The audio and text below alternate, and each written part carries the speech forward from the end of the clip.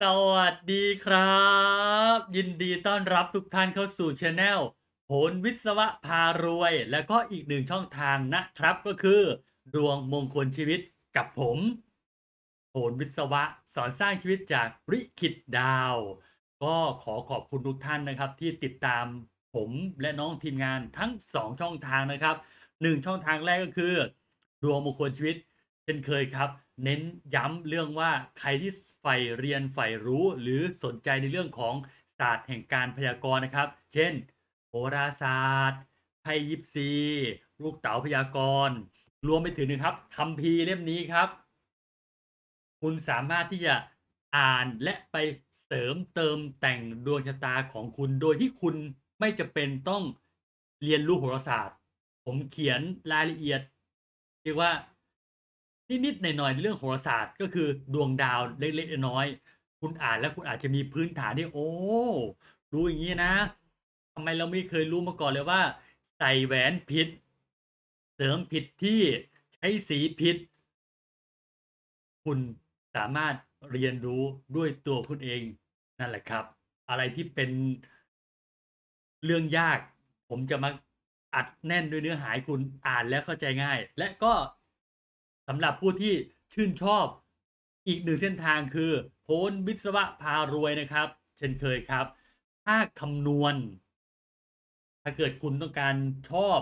คำนวณด้วยตัวคุณเองนะครับเน้นย้ำนะครับ ด้วยตัวคุณเอง คุณสามารถนำคัมภีร์เล่มนี้ไปคำนวณ หาตัวเลขมงคล ที่คุณคิดว่าคุณชื่นชอบมากที่สุด ผมสอนทุกอย่างไว้ในนี้นะครับ และเหนืออื่นใดจริงๆแล้วนะครับ ตัวเลขนนี้จะเป็นตัวบอกเหตุว่าใครทำไรที่ไหนเมื่อไหร่อย่างไร แล้วคุณจะได้รู้ว่าอ๋อทำไมเราไม่มีโชคเลย เราไปทำอย่างอื่นดีกว่าไหมหรือว่าเราเป็นสายคำนวณเราไปคำนวณเองดีไหมหรือเราจะไปจุดธูปจุดเทียนไปบวงสรวงอะไรต่างๆนานาที่เป็นเทพเจ้าแห่งโชคลาภของเรา คู่มือเล่มนี้ บอกกับทุกท่านไว้เรียบร้อยครับ และเหนืออื่นใดนะครับ เราก็มาเริ่มกันเลยครับ วันนี้ตีแพรลอตเตอรี่นะครับ สลากกินแบ่งรัฐบาลงวดประจำวันที่ 31 มกราคม 2000เออขอโทษนะ 31 กรกฎาคม 2566 นั่นเองนะครับนานทีปีหนจะมีออกวันที่ 31 ก็คืองวดนี้กับอีกงวดหนึ่งคือธันวาคม ขอขออีกท่านนะครับ รวยรวยเฮงเฮงปังปังมิเตพาหูหาตินะครับ เรามาเริ่มกันเลยครับ วันที่ 31กรกฎาคมนะครับก็เช่นเคยครับ วันนี้สีสีวันนี้เป็นวันดีนะ เราได้มีโอกาสไปทำบุญก็ไปทำบุญ เพราะว่าอยู่ในช่วงเทศกาลเรียกว่าเข้าพรรษา ละเลิกอะไรก็นิดๆหน่อยๆก็เลิกได้ครับ เลิกไม่ได้ก็ค่อยๆลดลดลดลดลงนั่นเองเช่นเคยครับลอตเตอรี่ประจำวันที่31กรกฎาคมเนี่ยครับเขาเน้นย้ำว่าถ้าเกิดเราเนี่ยครับ ไปรับจ้างเปิดบัญชี ผิดกฎหมายนะครับ ตอนนี้ผิดกฎเรียกว่าผิดกฎหมายร้ายแรงด้วยซ้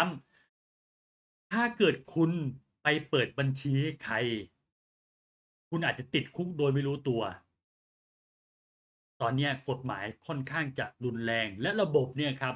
ถ้าเกิดคุณโอนเงินเกิน 50,000 บาทเนี่ย เขาต้องสแกนหน้า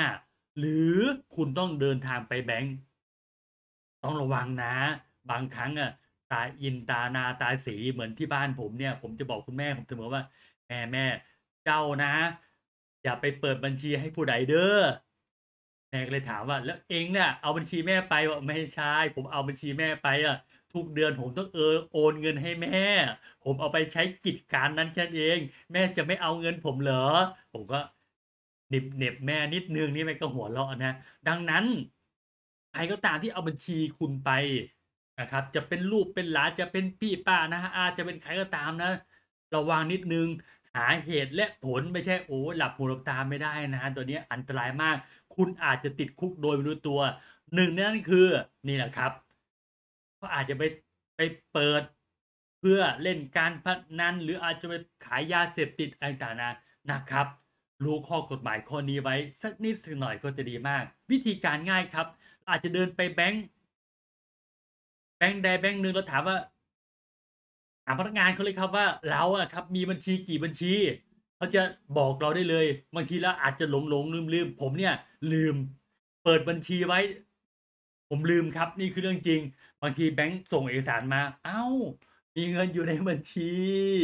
เอารมณ์แบบนั้นแต่เรื่องจริงครับเรื่องจริงนะผมก็เอาแล้วหาไม่เจอ สมัยนี้เรา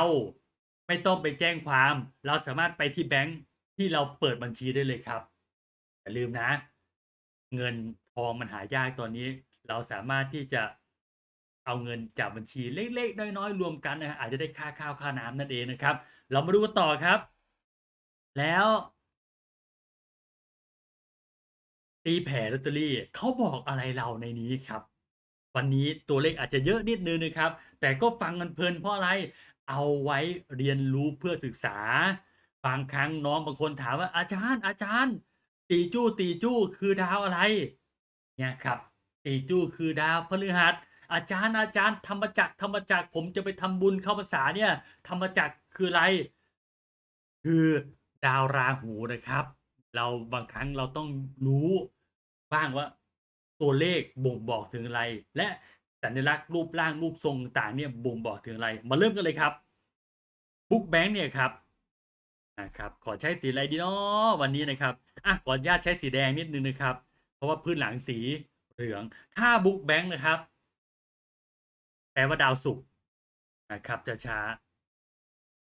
แต่คุณสามารถที่บอกว่าอาจารย์บุ๊กแบงค์สีนี้นะครับ เอ๊ะตกลงว่าแบงค์สีเนี่ยเป็นดาวศุกร์หรือดาวราหู ถ้าเกิดเน้นสี อันเนี้ย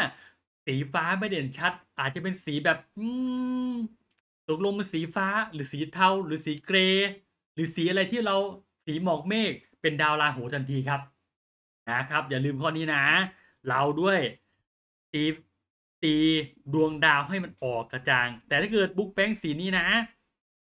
เป็นดาวเสาทันทีครับ เลขเจ็ดนะครับ อย่าลืมข้อนี้นะครับ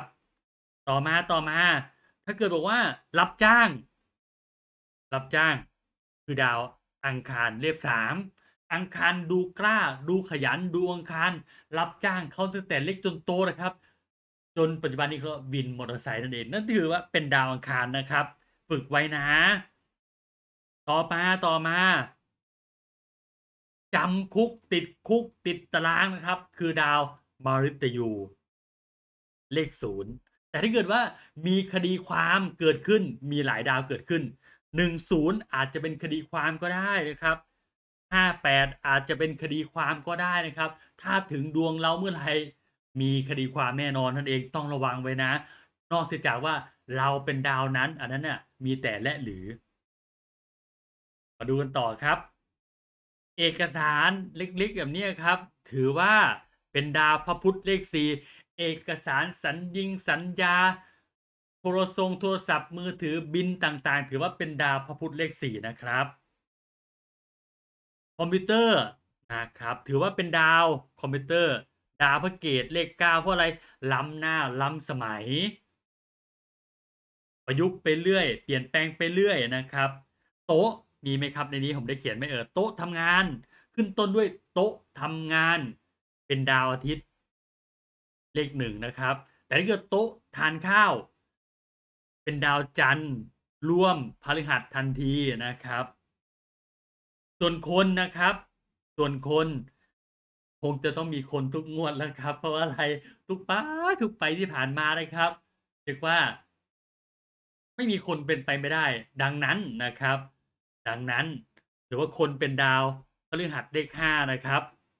แต่อ้าวสองคนแหละอาจารย์เออห้าสองสองห้าเนาะเอาเขียนนิดนึงข้างนิดนึงนิดนึงนะครับ อารมณ์แบบว่าเอานะอาจารย์ให้จะครบสิบเบอร์แล้วครับ เอาที่คุณชื่นชอบผมมาตีแผ่ในเรื่องของโหราศาสตร์เผื่อคุณได้แอปไปประยุกต์ใช้ในความฝัน หรือสิ่งที่คุณเห็นแหมวันนี้สีสีเป็นวันดีเนาะตื่นเช้ามาเดินไปอยู่ดี เจอสุนัขเอาดาวอาทิตย์จะได้เอาไปซื้อลอตเตอรี่เห็นไหมครับ โหราศาสตร์พิเศษเลยหรือ ผมเน้นย้ำอีกครั้งหนึ่งนะ เลขเก้าเลขหกเลขหนึ่งเลขสามเลข8เลข4และเลข0โอ้โฮเอานะครับ เอาไว้ฝึกเอาไว้ฝึกวิทยายุทธนะครับ มาดูกันต่อครับ แล้ว สิ่งนี้แหละบอกอะไรนะครับ ของคุณอาจจะไม่เหมือนของผมก็ได้นะครับรถนะครับรถไฟเรือเมล์ลิเกตำรวจก่อนนะรถไฟเรือเมล์ลิเกตำรวจ อังคารเลข3ครับ แต่ถ้าเกิดรถ10ล้อนะครับ10ล้อรถบรรทุก ถือว่าเป็นดาวเสาร์นะครับ ต่อมากุญแจนะครับ ไขกุญแจกุญแจมีอะไรครับ มีหน้าที่อะไรที่มีหน้าที่เกิดขึ้น ป้องกัน คนเข้าบ้าน ป้องกันอารีราชศัตรูหรือภัยบัตรจะมาลุกลานประเทศเขาถือว่าเป็นดาวอาทิตย์นะครับ กุญแจ เอาไว้ป้องกันนั่นเอง ส่วนคุยกับน้องเทีมงานก็ขำไปครับว่าเอ๊ะตกลงแมวว่าเสือ หรือว่าสิงโต ก็นั่นแหละถ้าเกิดออกอาการน่ารักก่อนนะครับ ออกอาการน่ารักถ้าเกิดแบบแมวมุงมิ้งช้าๆนะแมวมุงมิง เป็นดาวจันทร์เลข2แต่ถ้าเกิดแมวแบบลายเสือโคร่งมาเลยอะไรเงี้ยเป็นดาวอังคาร แต่ถ้าเกิดเป็นแมวน่ากลัวน่ากลัวที่แบบโอ้โฮเหมือนกับซอมบี้มาอะไรเงี้ยที่ไม่มีขนน่ะเป็นดาวมฤตยู แต่เอาแน่ๆผมมองว่าแมว แมวตัวนี้น่ารักมากนะครับ เพราะอะไรแมวชอบคอเคลียให้เป็นดาวจันทร์ก่อนนะครับ สุดท้ายนะครับ เครื่องจักรหรืออะไรที่เกี่ยวกับของที่เอาไว้ซ่อม เส้นดงเส้นได้นะครับ เรายังไม่ผนวกอย่างอื่นนะ เส้นได้ เอาไปซ่อมนะครับเขาถือว่าเป็นดาวจันทร์นะครับอาขอโทษเป็นดาวอังคารเรียกว่างานซ่อมนั่นเอง แต่ถ้าเกิดเป็นงานที่แบบโอ๊ยเอาไว้น่ารัก เอาไว้เรียกว่าร้อยให้มันแบบถักให้มันสวยน่ารักเนี่ย จะเป็นดาวจันทร์แต่ถ้าเกิดเป็นบ่วงบาทเอออาจารย์ ชือกแล้วเป็นบ่วงบาทนะอาจารย์ ที่องค์พระพิฆเนศวรใช้อย่างเงี้ยครับ หรือพระศิวะใช้ถือว่าถือว่าเป็นดาวมฤตยู เพราะว่าอะไรบ่วงบาทเนี่ย เอาไว้ฉุดกระชากลากจูงมันเหมือนคนถูกจองจำดังนั้นโหราศาสตร์มีแต่และหรือในกฎเกณฑ์นี้นะครับ ก็คือเป็นความพิถีพิถันของครูบาอาจารย์เรานั่นเองนะครับก็เช่นเคยครับ อันเนี้ยเราเอาไว้ประยุกต์ใช้ฟังเพลินๆ ชอบเลขไหนใช้เลขนั้น ผมก็จะเน้นย้ำเสมอว่า ถ้าเกิดเรานะครับผูกดวงจากเว็บไซต์ดวงมงคลชีวิตแล้ว ไปดูซิว่าช่องโชคเรามีไหม ช่องลาภะเรามีไหม แล้วตอนเนี้ยใครเอาโชคมาให้เราสมมติว่าผมเกิดที่ราศีตุลราศีสิงห์ตอนเนี้ยโอ้มีดาว อังคารเลข3มีดาวเอ่อมีดาวพฤศุกร์เลข6มีดาวพระพุธเลข4โคจรมา เฮ้ยเราจะมีโชค โชคแบบไหน เราค่อยว่ากัน แต่พอผูกดวงเดิมของเรานะ ช่องลาภะเรานะเป็นดาวอาทิตย์เราก็ไปดูว่าเฮ้ยตอนนี้พระอาทิตย์อะเขาโคจรไปไหน ระหว่างคนนำของมาให้เรา เราเข้าไปดูช่องลาภะกับผูกดวงเดิมนะครับ ดาวอาทิตย์เป็นดาว โชคของเราเขาโคจรไปอยู่เรื่องราวไหน โคจรไปอยู่ช่องลูก ลูกให้โชคเราบริวารให้โชคเราช่อง ย้ายไปอยู่ช่องสุภะที่พึ่งให้โชคเรา ผมก็จะบอกว่า เออ รู้แล้วว่าคนนี้เป็นที่พึ่งพิงของเราได้ ช่วยซื้อลอตเตอรี่ให้หน่อยไหมโอ้อันนี้ก็เกินไปกว่า วันนี้ฝันดีไหมครับ ผมจะซื้อตามพี่เลยอารมณ์แบบนี้ เพราะอะไรเราจะต้องกฎเกณฑ์นี้ได้ ถ้าเกิดเราไม่รู้ มันก็เหมือนเราจั่วลมอะซื้อผิดที่ผิดเวลา มันก็ไม่ถูก ดังนั้น ลองพิถีพิถันดูครับว่าใครให้โชคเรา แล้วเขาอยู่ไหนโหราศาสตร์จึงบอกว่าใคร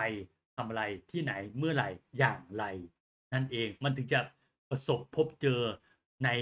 ลงทุนน้อยแต่ได้กำไรงามครับ วันนี้ผมก็ขอขอบคุณทุกท่านที่ติดตามผมทุกช่องทาง แล้วก็ขอขอบคุณน้องทีมงานโพนวิศวะพารวย และน้องทีมงานดวงมงคลชิตขอให้ท่าน รวยรวยเฮงเฮงปังปังมิเตพาหุงหาติ เงินทองหลั่งไหลมาดังวารินครับ วันนี้ขอบคุณมากครับ สวัสดีครับ